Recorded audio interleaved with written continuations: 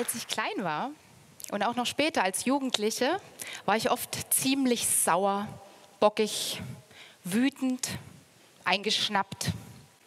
Und wenn ich mich total aufgeregt habe über etwas, was ich ungerecht fand, dann habe ich oft gehört, wer schreit, hat Unrecht. Getroffene Hunde bellen, von meiner Oma übrigens, auch letztes Jahr erst wieder. Und was sie ja damit meint, ist, wenn jemand so emotional ist, dann kann man nicht mehr sachlich bleiben, dann kann man mit dem nicht mehr diskutieren, man kann denjenigen nicht ernst nehmen.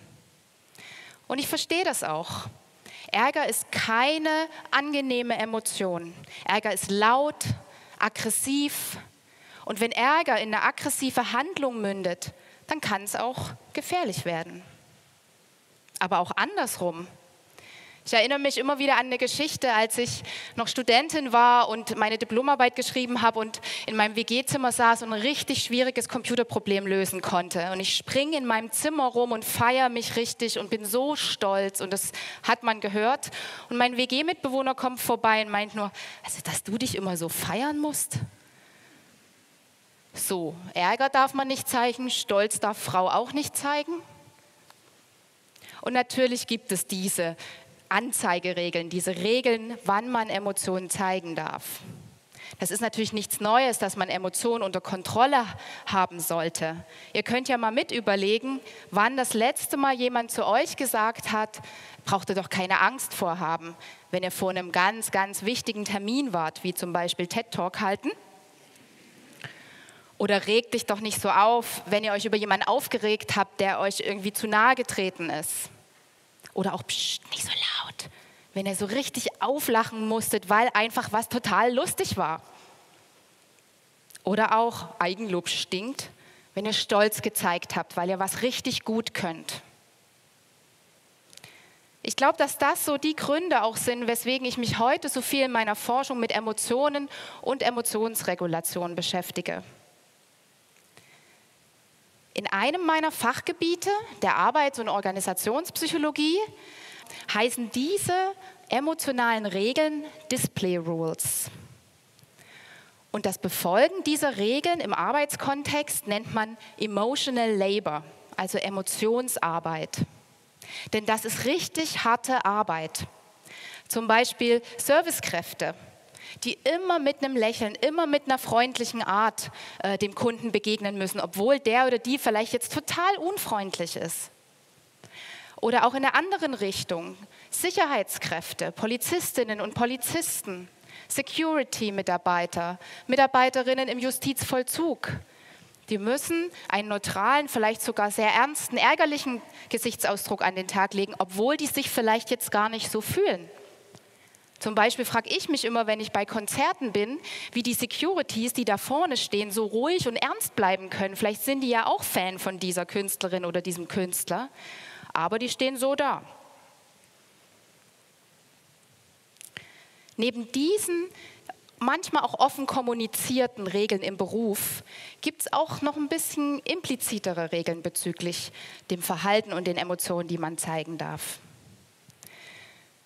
So ist es so, dass von Führungskräften erwartet wird, dass man die so sieht, dass die durchsetzungsfähig sind, ambitioniert, mutig, sachlich, analytisch, eben wenig emotional.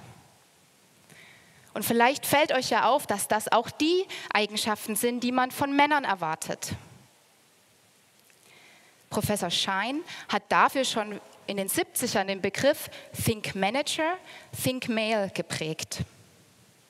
Von Frauen erwartet man eher, dass sie emotional sind, kommunikativ, sozial, warm, fürsorglich. Und das passt gut zu Krankenschwestern, zu Erzieherinnen, zu Lehrerinnen und natürlich zu Müttern und zu Hausfrauen.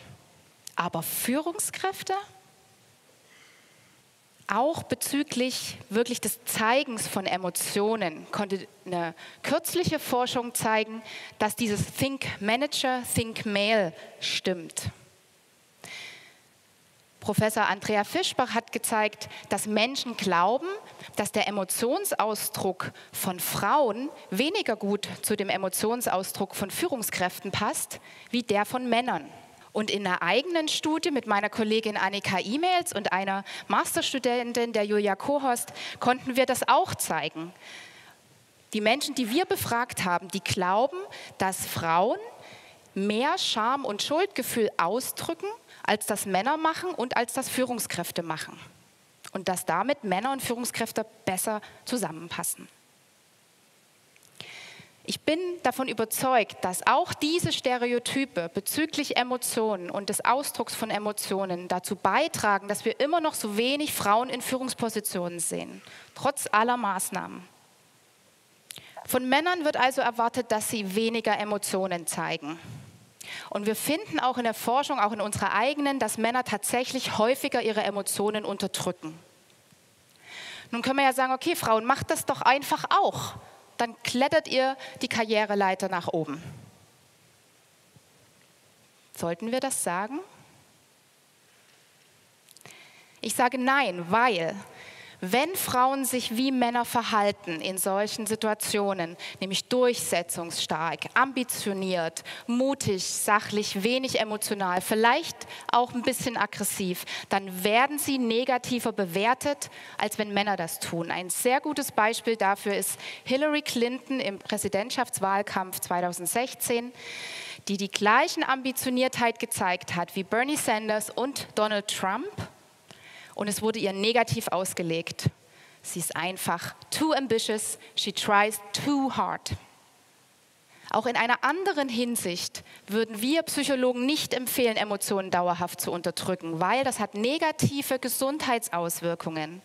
Wir wissen, dass mehr Burnout berichtet wird, wenn Personen im Beruf häufiger Emotionen unterdrücken müssen. Das geht bis zu Herz-Kreislauf-Erkrankungen, die häufiger auftreten bei Personen, die häufig Emotionen unterdrücken. Aber auch Leistungseinbußen. Das hat Wissenschaftlerinnen um Alicia Grandi schon dazu geführt, die Abschaffung dieser Display Rules, dieser Anzeigeregeln zu fordern. Und ich denke auch, dass Menschen ihre Emotionen gar nicht immer unterdrücken wollen.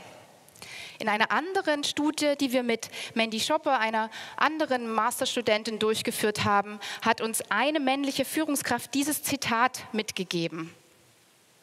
Gefühle, positive wie auch negative, sollten auch als Führungskraft gezeigt werden. Dies macht die Person menschlich und authentisch.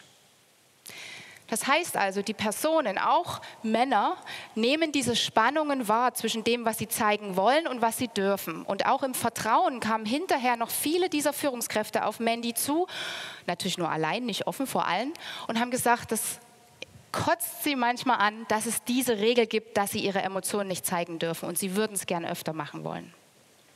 Und wir wissen als Psychologen schon sehr lange, dass das, was Führungskräfte eigentlich brauchen an Fähigkeit, ein flexibler Umgang mit ihren Emotionen ist. In diesem Magazinartikel nennen sie es sehr schön emotionale Agilität. Wir Psychologen würden emotionale Intelligenz sagen. Aber was ist emotionale Intelligenz?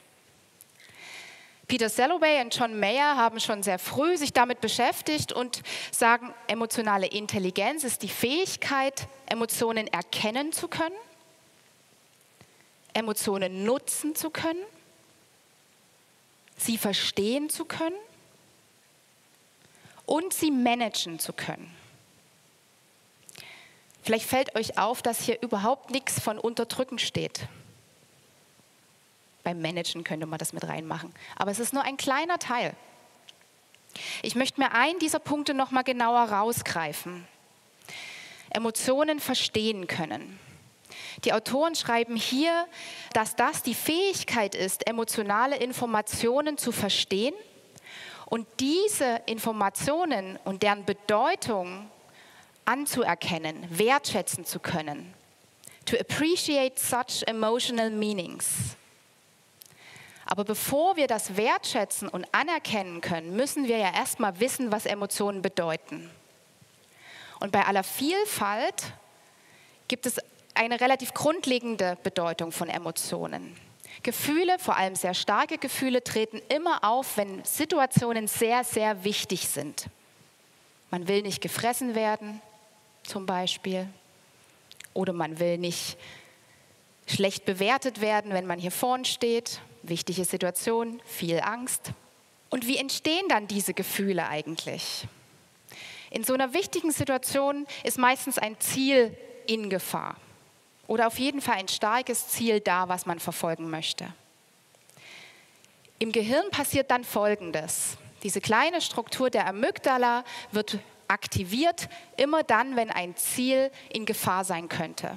Und das Ziel ist eben nicht nur äh, gesund und nicht verletzt zu werden, sondern auch, ich möchte das Projekt jetzt erfolgreich abschließen. Ich möchte hier einen guten Talk halten.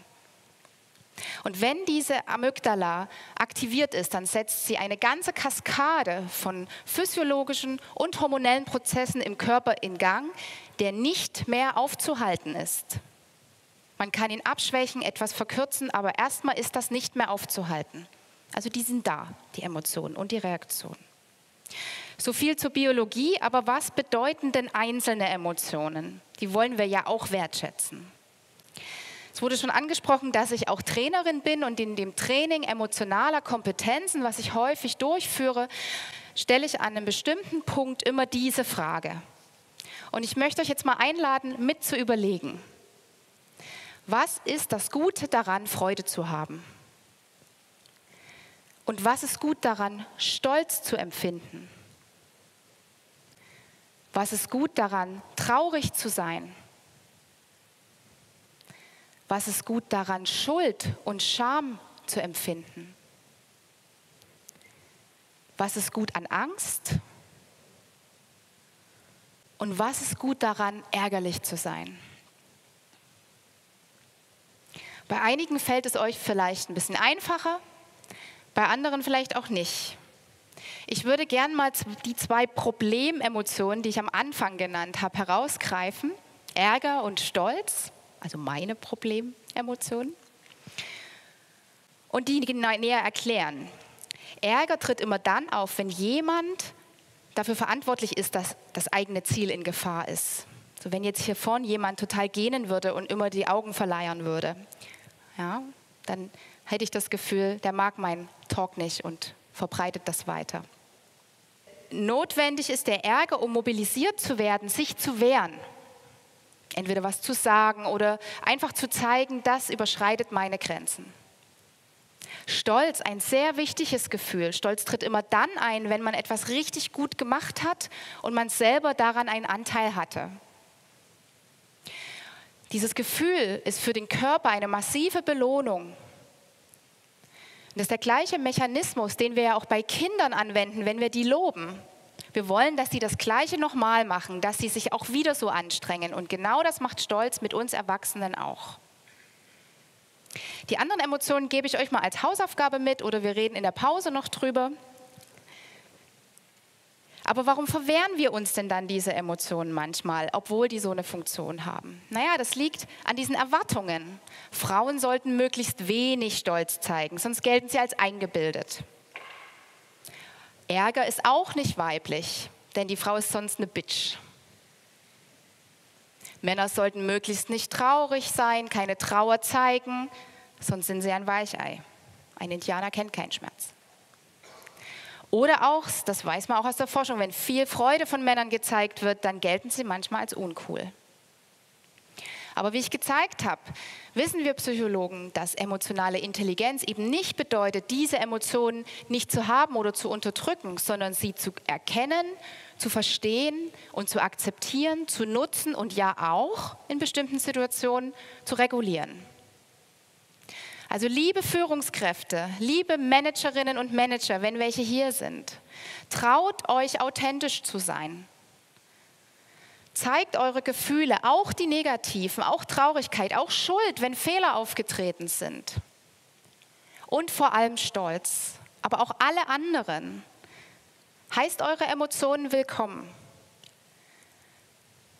Akzeptiert, dass diese Emotionen aus gutem Grund da sind.